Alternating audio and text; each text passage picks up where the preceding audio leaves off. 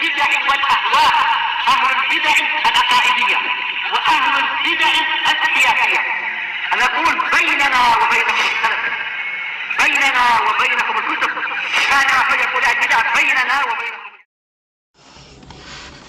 Bismillahirrahmanirrahim Alhamdulillah wassalatu wassalamu ala rasulillah wa ala alihi wa sahbihi wa man wala ma ba'd Kita lanjutkan berikutnya bacaan terhadap kitab At-Tuhfatul Jaliyah fi ilmi uh, fi muqaddimati ilmi Arabiyah karya saudara kita yang mulia Abu Ishaq Ibrahim Asy-Syamri As-Sabahullah. Sekarang kita masuki halaman 92 bagian bawah itu masih seputar syarat-syarat daripada al-asma sittah pada pertemuan sebelumnya kita sudah telah mengambil syarat yang umum yaitu ada empat syarat. Syarat pertama antakuna mufradatan harus mufrad.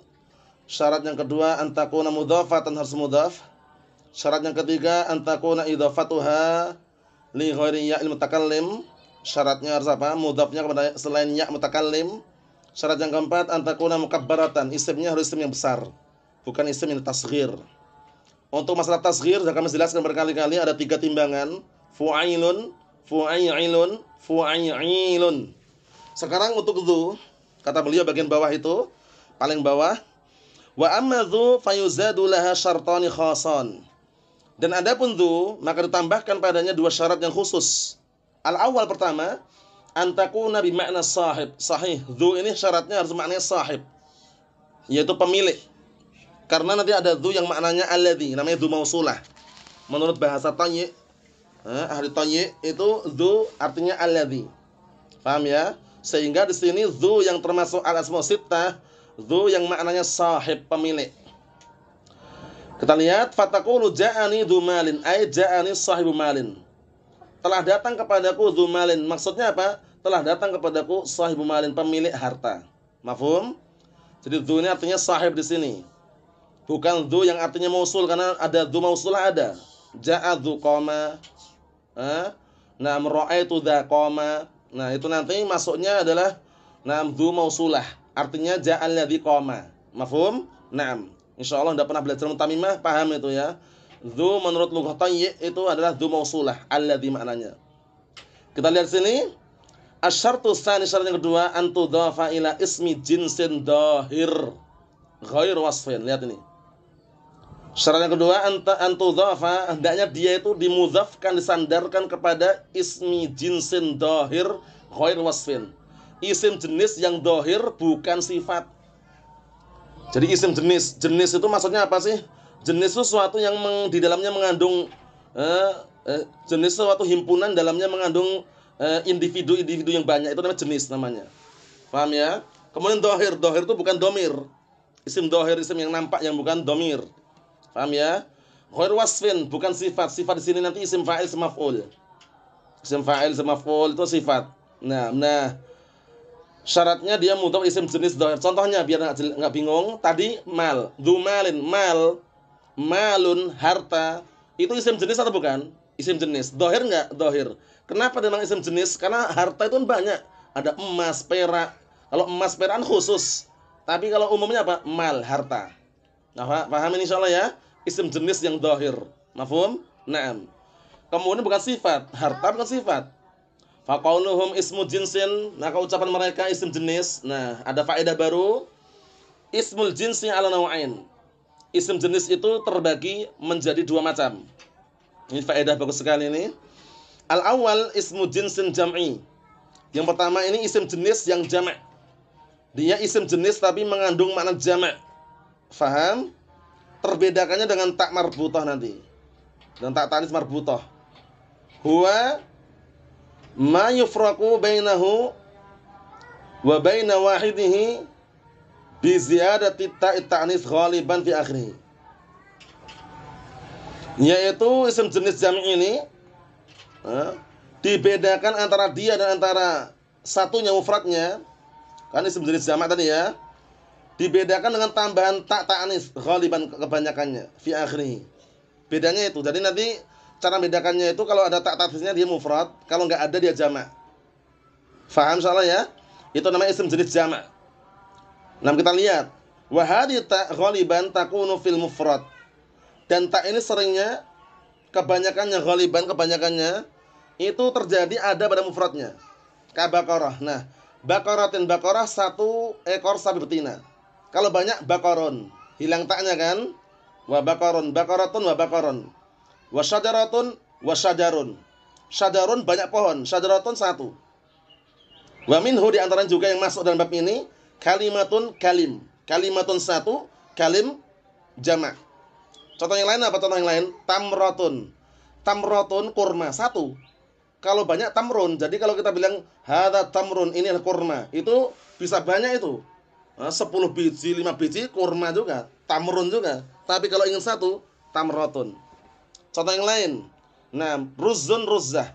Ruzun ruz eh, beras nasi itu banyak kalau satu ruzzah. Mauzun pisang. Berapa itu mauzun? Banyak. Isim jenis jamak. Kalau mufrad berapa? Kalau mufrad bagaimana? Eh, mauzatun. Khubzun roti. Banyak ini. Kalau satu khubzatun. Mafhum? Rasasun peluru. Banyak. Kalau satu rasasatun. Jadi terbedakannya dengan, dengan tak ta'nis. Tak ta'nis tak marbutah itu maksudnya. Mafhum? Nah, ini faedah ini. Jadi kadang orang mungkin jamaknya apa jamaknya nggak usah nyari nyari ke mana-mana langsung dibedakan dengan tak marbutah itu tak ta'nis marbutah. Mafhum insyaallah? Naam, kita lihat. Yang kedua, asani ismu jinsin ifradi.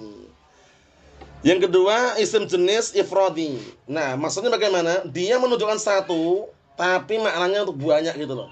Bahwa mayasduk al katsir wal qalil wal lafdu wahid. Yaitu suatu kata yang boleh untuk apa? Digunakan untuk banyak dan sedikit pada lafadznya satu. Lafadznya cuma satu, tapi bisa untuk mencakup banyak atau sedikit. Kamain seperti air. Air banyak atau sedikit? Banyak dikit tetap air gitu loh. Paham ya? Nah, ini namanya isim jenis ifradi. Wadhab, apa dhahab emas. Nah, ini juga bisa emasnya banyak, emas sedikit tetap emas. Wa apa khallun? Cuka. Ya kan? Nah, barakallahu fiik. Ini juga nah banyak atau sedikit. Wa zaitun, minyak. Nah, ini juga bisa untuk banyak atau sedikit. Tapi ifradi bentuknya mufrad. Faham insyaallah ya? Karena kalau cara cari jamaknya ada jamaknya memang. Paham ya? Nah, barakallahu fiik. Jamaknya ada, Cuman di sini dia mencukupkan dengan apa? Dengan satu bentuk mufrad pun maknanya bisa, bisa apa? Untuk banyak atau sedikit. Nah, ini sekedar faedah ya. Fataqulu ja'ani dzu malin ay sahibu malin. Fadhuhuna udhifat ila ismin jinsin dahir. Maka du di sini disandarkan kepada isim jenis dahir mana? Mal. Malun. Bisa banyak, bisa dikit. Ya kan? Bisa emas, bisa perak. Ya bisa uang juga. Nah, itu menunjukkan bahwasanya isim jenis dohir. Dohir itu bukan domir, ingat-ingat. Dohir itu bukan domir. Jadi kalau domir nggak boleh. Eh, zuhu zuka nggak boleh. Wa qauluhum dohir akhraja idza udhifat ila mutmar, ya kan? Ucapan mereka dohir maka mengeluarkan eh, apabila disandarkan kepada mutmar domir. Nahwu zuhu au dzuka fahadha la yasih. Yang seperti ini tidak diperbolehkan. Nggak benar. Berikutnya Wa qaluhum ghairu wasfin, ucapan mereka dan bukan sifat. Al murad bil wasfi al wasfun nahwi. Penting ini yang diinginkan dengan sifat di sini adalah al wasfun nahwi, sifat menurut ahlu nahwi. Bahwa ismul fa'il, wasmul maf'ul, wasiba al musyabbah wa amsilatul mubalaghah. Masya Allah, faedah ini. Jadi sifat itu kalau dalam ilmu nahwu jangan dicampur dengan sifat mausuf na'at manut lah ya. Itu lain lagi. Jadi kalau wasfun di sini maksudnya apa? Maksudnya adalah isim fa'il, isim maf'ul, sifat musyabbahah atau al-amsilatul mubalaghah. Amsilatul mubalaghah. Contoh-contoh isim yang digunakan untuk apa? Untuk melebihkan dalam sifati, mubalaghah. Karena nanti uh, timbangannya banyak.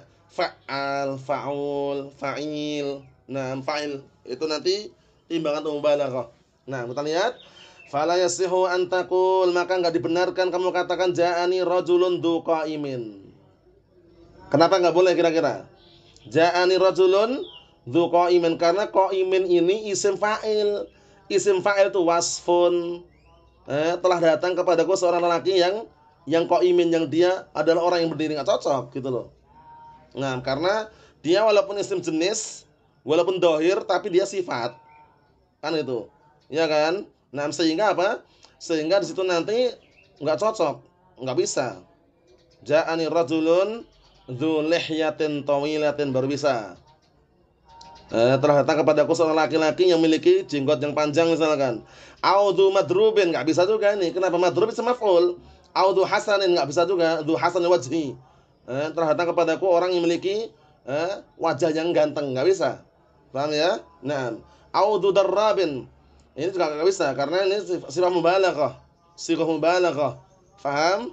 Syaratnya bukan wasfun. Wasfun di sini adalah isim fa'il, isim maf'ul, eh, amsalatul mubalaghah dan juga sifat musyabbah tadi. Wasababu fi dzalika anna yatawassal biha lin-na'ti ma qablaha. Sebabnya hal tersebut karena apa? Karena dzu itu yatawassal biha untuk menghantarkan menyampaikan dengannya lin-na'ti untuk mensifati. Mensifati ma qablaha, mensifati apa-apa yang sebelumnya. Bima ba'da untuk yang setelahnya. Dengan apa-apa yang setelahnya. Faham? Itu fungsinya tuh. Mensifati yang sebelumnya untuk yang setelahnya. Fa kana ma ba'daha wasfan, maka apabila setelahnya kok itu sifat, fala hajah ilaiha maka enggak perlu lagi gitu loh. Enggak perlu pakai nah pakai apa? Du lagi gitu loh. Wa yu'ta bil wasfi mubasyaratan maka datangkan dengan sifat langsungan aja. Fatakul ja'ani rajulun qa'imun. Selesai. Ngapain pakai du lagi? Karena eh, qa'imun udah sifat gitu loh. Paham ya? Jadi enggak perlu pakai du lagi. Nah, karena du didatangkan untuk sifatnya sebelumnya. Sehingga setelah du ada isim jenis yang dohir yang bukan sifat. Nah kalau didatangkan sifat ngapain pakai du lagi? Istilahnya gitu. Langsungkan aja. Ja'ani rajulun qaimun selesai.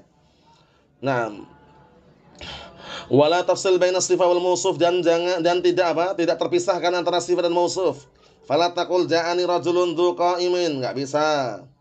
Fayakunu dzalika haswan, maka seperti ini mensia-sia, enggak bisa. Eh, cuman kata yang enggak digunakan, yang ada enggak ada enggak ada apa? Enggak ada maknanya, sia-sia aja. Paham ya? Cuman semacam kata sisipan yang sia-sia dari sini.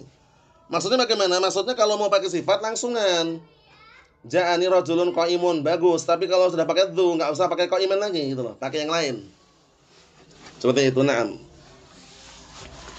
Dan lihat waladhi yasih an yakuna sifatan wa la yahtaja an yu'ta ma'ahu bidzu dan yang boleh dia menjadi sifat dan nggak perlu lagi didatangkan padanya dzu amron dua. Dua perkara ini eh, diperbolehkan menjadi sifat tapi nggak perlu didatangkan padanya dzu. Al awal pertama al wasfu sifat. Misaluhu ja'ani Zaidun al-aqilu sahih. Ja'ani Zaidun al-aqilu telah datang kepadaku Zaid yang berakal karena alladzi yaqil. Al-aqilu alnya al apa di sini? Perhatikan al yang masuk pada isim fa'il sama namanya al-mausulah al apa? Al mausulah. Takdirnya ja'ani Zaidun alladhi ya'kil itu. Al-aqilu alladhi ya'kil. Wasani yang kedua al jumlatu, jumlah. Misalnya ja'ani rajulun yadhaku. Ada, ada kaidah nanti dihafal kaidahnya dihafalkan. Yang kedua barakallahu fikum contohnya telah datang kepadaku rajulun yadhak. Ja'ani rajulun yadhaku. Telah datang kepadaku seorang laki-laki yang dia itu tertawa. Yadhaku ini nanti fi mahali nam raf'in sifatul rajul. Tahu dari mana? Kenapa tidak dikatakan hal dalam keadaan tertawa gitu? Nah, ada kaidahnya, kaidah dihafalkan kaidahnya. Kaidahnya al jumlah ba'da ma'rifah, al jumlah ba'da ma'rifah hal wal jumlah ba'da nakirah sifah. Dihafalkan itu. Paham ya? Nah, itu kalau pakai mufrad atau pakai jamak enak juga. Al jumal ba'dal ma'arif ahwal wal jumal ba'dan nakirat sifat. Artinya kalau dijumpai jumlah datang setelah nakirah itu berarti sifat. Kalau datang jumlah setelah ma'rifah berarti apa? Berarti apa? Hal. Contohnya sekarang. Ja'ani rajulun. Rajulun nakirah atau bukan? Naam nakirah. Yadhaku jumlah kan? Jumlah. Nah, yadhaku ini nanti kalau di Arab yadhaku fi'lun mudhari'un marfu'un litajarrud 'anil nasib al jazim wa alam tarfi dhammah dhahir akhirih wa fa'iluhu dhamir mustatirun fihi jawazan takdiruhu wa wal jumlah yathaq fi mahali raf'in sifatun lirrajul. Kenapa kita katakan sifat? Karena dia jumlah datang setelah nakirah. Kalau kita ganti Zaidun ja'ani Zaidun yathaku. Nah, itu beda. Kalau ja'ani Zaidun yathaku, Zaidun ma'rifah atau nakirah Zaidun? Ma'rifah. Berarti yathaku nanti fi mahali nasbin hal. Insya Allah bisa dibedakan ya. Pastikan tidak pening kepalanya. Ini mudah sekali. Intinya dihafalkan kaidahnya. Al jumal ba'dal ma'arif ahwal. Al jumal ba'dal ma'arif ahwalun. Jumlah yang datang setelah ma'rifah itu hal. Wal jumal ba'dan nakirat sifatun. Dan jumlah yang datang setelah nakirat itu sifat. Tinggal dicek aja sebelum jumlah tersebut nakirat atau ma'rifah gitu loh. Nah, mafhum? Ewa. Kita ambil dikit lagi ya. Wal farqu baina dhu ta'iyah al-musulah wa dhu allati bi ma'na sahib. Ini kelihatannya agak panjang ya. Jadi ini besok aja insyaallah ya. Besok ya sekalian selesaikan insyaallah. Jadi ini besok aja. Nah, barakallahu fiik kita selesaikan pembahasan eh, yang ini sekalian besok kita selesaikan pembahasannya apa? Al-asma sittah sekaligus asal al-af'alul khamsah. Nah, kesimpulannya eh, faedah yang bagus yang terakhir tadi dikondisikan karena kadang orang kebingungan gitu loh. Eh, jumlah setelah ma'rifah itu apa? Irabnya hal atau sifat? Kita kita ambil kaidah tadi itu al-jumal ba'dal ma'arif ahwal wal jumal ba'dan nakirat sifat. Eh, jumlah yang datang setelah nakirat itu sifat, jumlah yang datang setelah ma'rifah itu hal. Wallahu alam shawab. Nasallahu as-salamatu wal afiyah. Alhamdulillah.